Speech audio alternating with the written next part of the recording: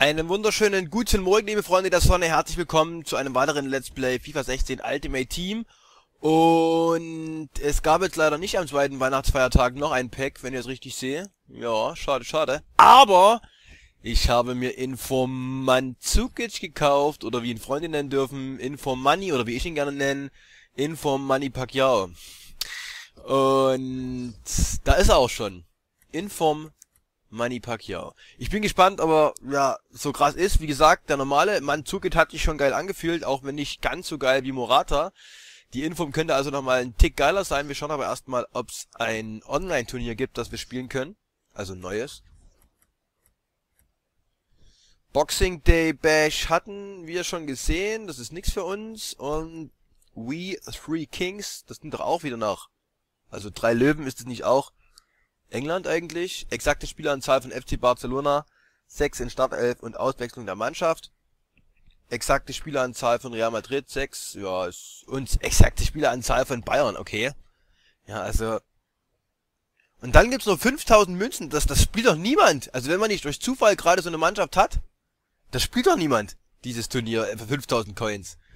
Naja, ich bin halt ganz, ich würde sagen, ich 100% fit, zumindest glaube ich das. Ich bin ein klein wenig müde, aber ich habe einfach so Bock, Money auszuprobieren.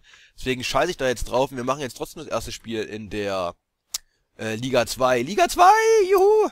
In der Liga 2, erstes Spiel, ja, Info Money. Und ich hoffe natürlich, dass er sich richtig, richtig geil spielen lässt und wir alles wegbumsen damit. Ähm, mein FIFA-Freund, der testet halt gerade, also der wollte sich dann auch Inform Money holen, aber der testet gerade Inform Baka und er hat halt gesagt, Inform Baka, absolutes Monster. Und er kann sich kaum vorstellen, dass Inform Manzukic sich noch besser spielen lässt als Inform Baka. Und aus diesem Grunde aus diesem Grunde werde ich natürlich, wenn Manzukit nicht funktioniert, mir mal Info Backer holen. Manzukit habe ich super billig bekommen. Es waren wieder irgendwelche Special Packs unterwegs. Also ich bin jetzt noch in dem Zeitraum, wo Info Manzukit gezogen werden kann. Und durch die Special Packs, okay, ein kleiner Pace-Home-Sturm mit Storage und Remy, die sind natürlich schnell. Auch Shakiri und links Walcott sind nicht die langsamsten. Ich hoffe mal, das macht nichts. Aber auf jeden Fall, ja, ich habe mir halt Mandzukic für 28, also für knapp 29.000 gekauft, 28.750. War gerade so billig, er ist jetzt schon wieder teurer, also ist jetzt schon wieder über 30.000 gestiegen. Und da waren irgendwelche Special Packs wieder, die man ziehen konnte. Das hat dafür gesorgt, dass er halt super oft auf dem Markt war und dadurch konnten wir, oder konnte ich ihn halt recht preiswert kaufen. Ich glaube, ich glaube, äh, Info Backer liegt momentan so bei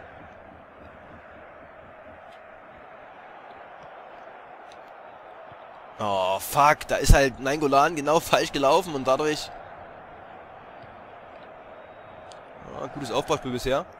Ist halt komplett falsch gelaufen und dadurch gab es da die Möglichkeit, nicht mehr ihn anzuspielen. Der eine von Bagger liegt irgendwo zwischen 40 und 45.000. Ja, schönes, schönes Lackertor, hätte aber auch nur querlegen müssen. Äh, also ich konnte hier nichts gegen machen gegen das Tor. Ich würde nicht sagen, hier war halt einfach Glück, dass er sich hier wieder durch zwei Spieler durchwühlt. Und dass dann natürlich der Torwart quasi, ja, das Tor zur Hälfte mit selber macht, war auch ein bisschen Glück. Aber ich konnte erstmal dagegen überhaupt nichts machen. Also ich kann mir zumindest keinen Defensivvorwurf machen. Ich denke, ich stand ganz gut. Habe ja auch das eine Mal, als er versucht hat, mit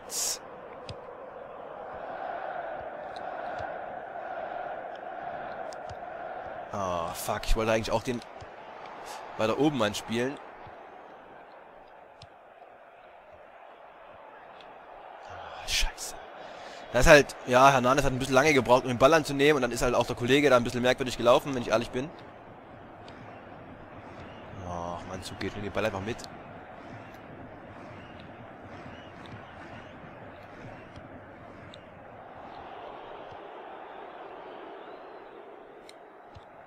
Er macht es bisher nicht schlecht, also der wird nicht einfach zu besiegen sein, das weiß ich jetzt schon.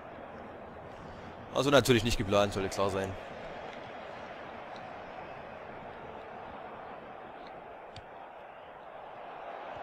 Stand er gut, aber ich habe es dann trotzdem noch geschafft, ihm den Ball da abzuluxen.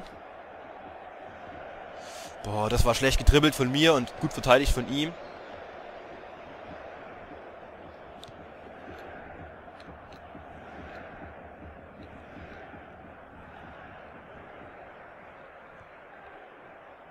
Ball hatten wir eigentlich schon fast. Er macht das nicht schlecht. Guter Aufbau. Guter Spielaufbau. Das war glück, glücklich für uns auf jeden Fall.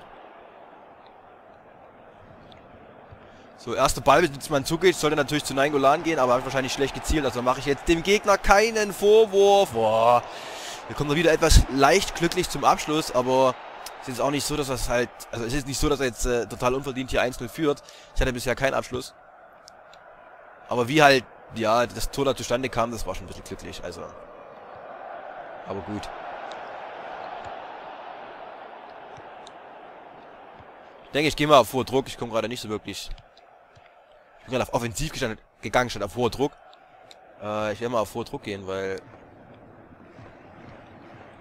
ich nicht so ganz klar komme. Dauert natürlich zu lang mit dem Pass, aber er kommt trotzdem scheiße. Also, ja, ich habe gehofft, dass mein Golan etwas eher zum Pass kommt. Vielleicht hätte ich einfach ihn nicht anspielen dürfen, aber trotzdem. So. Ich hätte halt wenigstens gern mal einen Abschluss oder so. Vielleicht kann ich ja mal über eine Flanke probieren. Ich meine, das sollte man Zukic ja können und das war natürlich... Aber wie gesagt, das kenne ich. Habe ich auch schon gemacht, dass man einfach zum Tormann zurückspielen wollte in der, in der, in der Hektik und äh, dann eben ins eigene ausschießt. So, wo ist denn mein Zukic? Ich sehe ihn gar nicht. Ist das der in der Mitte? Ich würde fast sagen, nein, oder? Oh, viel zu dicht an, ans Tor.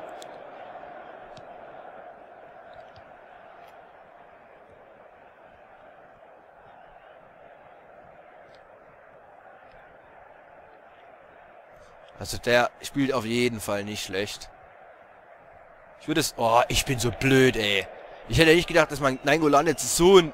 Also ich spiele gerade auf jeden Fall einen Tick schlechter als der Gegner, würde ich sagen. So insgesamt äh, würde ich denken, sind wir ähnlich stark, aber ein Tick schlechter bin ich gerade im Spiel nach vorne auf jeden Fall.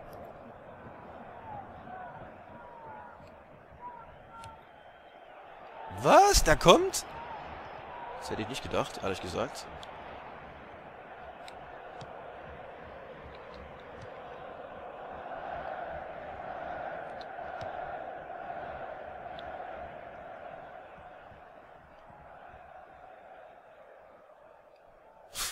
Greift mich nicht wirklich an, deswegen laufe ich halt mal durch mit Lichtensteiner. Lichtsteiner. Hat er einen ganz guten Flankewert. Also Flankenwert, aber mein Zukic war, also es war nicht die Schuld von Lichtsteiner, die Flanke war ganz gut, schön an den kurzen Pfosten, weil der Torwart nicht hingeht, wie man gesehen hat. Und, aber mein Zukic stand halt einfach nicht da. Also das, ja. Wäre mein Zukic schon da gewesen, dann hätte er, denke ich, auch einköpfen können.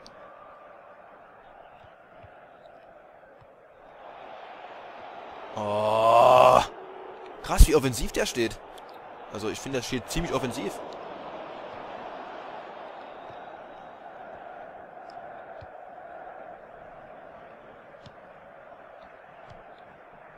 Schwacher Pass von Kedira, aber ich muss ganz ehrlich sagen, mein Zug ist dann schon wieder ein bisschen scheiße.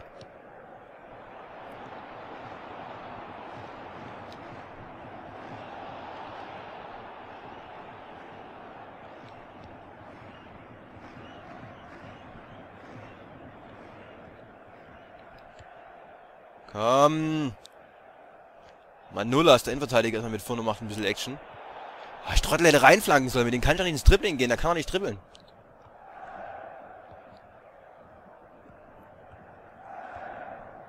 Ja, also bisher führt der Gegner hier auf jeden Fall verdient 1-0. Also ich komme überhaupt nicht, komme überhaupt nicht in, in, den Angriff auf jeden Fall. Vielleicht wird es in der zweiten Hälfte besser, mal schauen. Wir dann vielleicht mal mit Pressing spielen.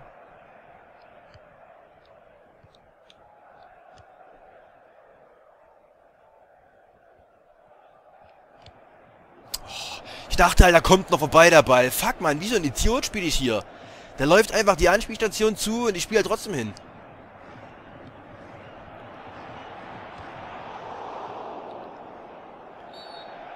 Oh, es war doch kein Foul.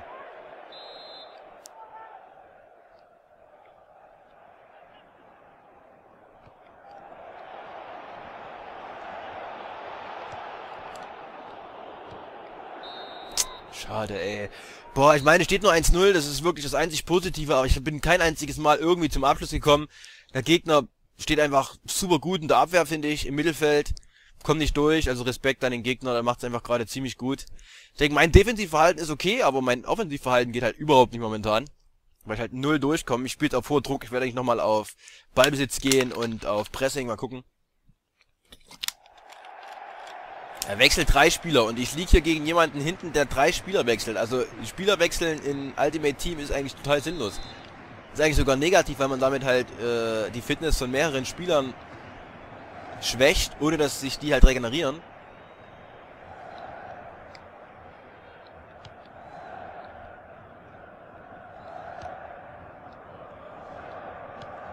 Oh, der Ball muss rankommen. Ach krass, krass, wie die gerade jeden Ball auf den Gegner pressen. Das gibt's doch nicht. Was für Idioten, ey. So, jetzt gehen wir mal auf.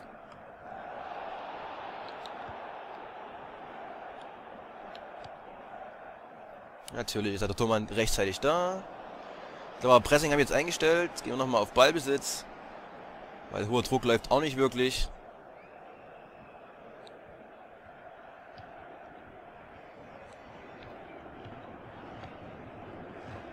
Oh, die knappen Bälle landen aber auch alle bei dem. Und bei mir ist es halt leider genau umgedreht hier. Da kommt nicht mal so ein Kurzpass an. Also der Gegner spielt auf jeden Fall besser, aber ich bin auch gerade ein bisschen benachteiligt, habe ich das Gefühl, mit den Pässen wieder hier.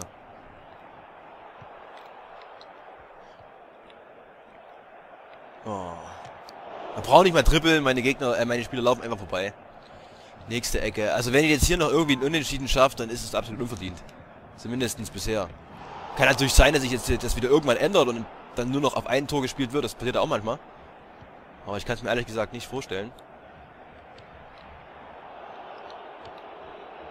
So.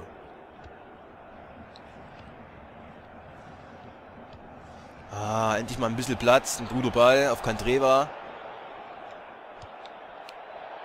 Ah, das muss doch... Das war eine perfekte, eine perfekte Flanke auf Mandzukic. Das geht mir so auf den Sack, dass man in dem Spiel nicht mal mit kopfballsteigen Spielern äh, Kopfbälle macht.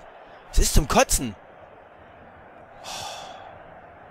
Das war, also wie gesagt, FIFA 13 wäre einfach sowas von Tor gewesen mit Mandzukic. Und es macht ja auch Sinn, dass ich da einfach so ein extrem kopfballstarker Spieler... Es muss ja nicht direkt ein Tor sein, aber dass er wenigstens hochspringt, irgendwie an den Ball rankommt. Nichts. Aber das ist mir schon... Ich habe am Anfang in Serie A, habe ich ja ähm, mit Klose gespielt. Klose logischerweise auch mega kopfballstark. Und ich weiß, also ich glaub, weiß gar nicht, ob ich überhaupt mal ein Kopfballtor mit Klose gemacht habe. Ich glaube fast nicht, das weiß... Also, nein, ich glaube nicht. Oh. Hätte ich den Ball erst annehmen sollen. Ja, also das, weiß nicht, Kopfbälle kann man einfach so vergessen. Man hat halt immer mal ein Kopfballtor, aber das hat man halt auch mit Spielern wie Chananuklu etc., die halt einfach überhaupt nicht kopfballstark sind. Kommen einfach nicht zum Abschluss, ist so traurig.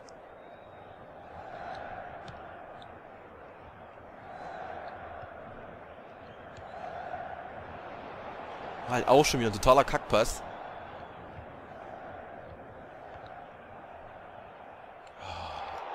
knapp. Ich meine, mein Spiel ist ein Tick besser als in der ersten Hälfte, würde ich sagen. Ich komme ein bisschen besser nach vorn, aber...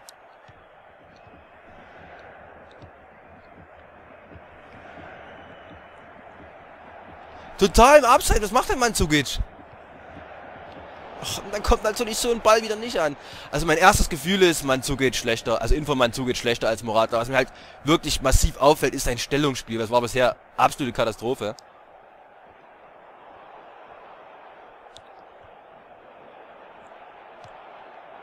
Ey, das kann nicht sein, wie er wieder durch vier Mann durch, durchpassen kann. Zum Glück ist sein Abschluss dann schlecht.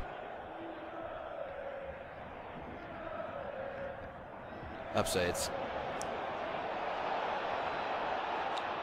Was? Es war kein Abseits? Warum? Ich mach das Tor nicht! Also erstens habe ich gedacht, dass Hernanes halt so viel Platz hat, dass er sowieso jetzt noch ein, zwei Schritt gehen kann.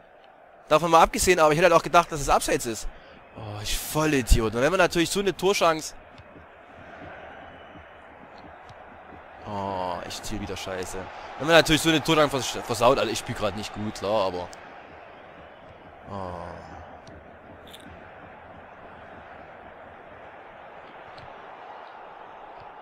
Aber wie gesagt, ein bisschen Pech habe ich auch. Aber gut, dann trifft es hier diesmal den richtigen, das Glück des Tüchtigen quasi.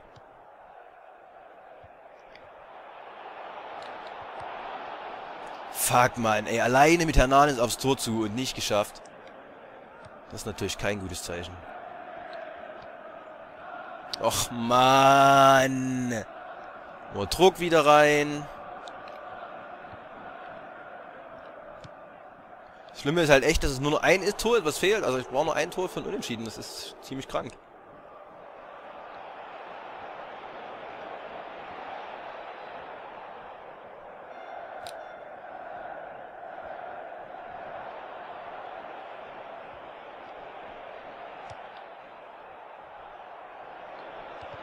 Oh, ich leg natürlich nochmal rüber, statt zu schießen mit Lichtsteiner. Als ob ich kein Tor machen will.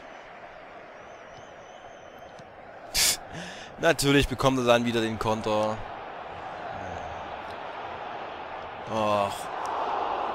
Ich will eigentlich auch gar kein Tor schießen, weil ich nichts verdient habe, aber ist halt so lächerlich, wie ich ja echt alles versau. Es klappt aber auch nichts. Ich meine, wahrscheinlich bin ich auch gerade schlecht. Nachdem ich hier fünf Spiele in Folge gewonnen habe in Liga 3, kommt jetzt das böse Erwachen. In Liga 2, erstes Spiel.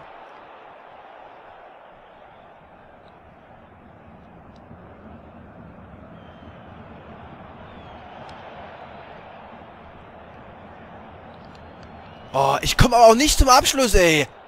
Ich meine, wenn ich da schieße, ist es halt eh kein Tor. Ja, sie haben halt irgendwelche Schreiten, die muss halt auch mal schießen, aber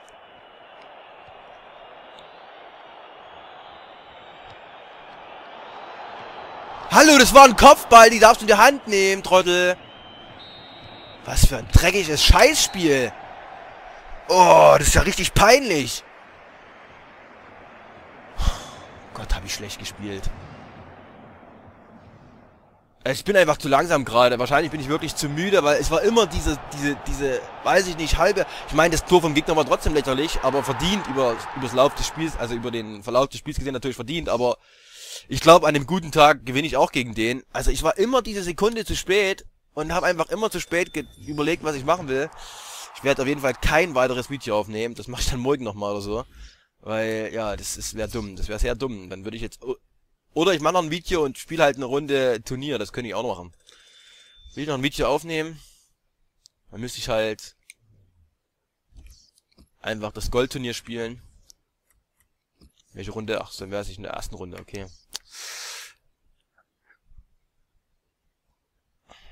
Mal gucken, ob ich direkt einen Gegner finde. Moment. Jetzt direkt einen, oh, Moment. Wenn ich direkt einen Gegner finde, würde ich einfach die Aufnahme beenden und dann direkt die nächste starten. Und einfach mal noch eins aufmachen, kann ich vielleicht auch befreiter spielen, weil ich weiß, es geht um nichts. Wenn ich verliere, verliere ich halt. Ja, ich sag so, das so schon mal liken, kommentieren, abonnieren, wenn es euch gefallen hat. Ansonsten Daumen nach oben, damit man euch loben. Euer Paxis, bis zum nächsten Mal. Tschüss und eventuell gibt's dann beim nächsten Mal ein Video mit dem Turnierspiel hier oder es gibt halt einfach wieder ein Ligaspiel, wenn ich wieder nicht mehr müde bin. Ah, Turnierspiel, alles klar. Bis, bis dann, tschüss.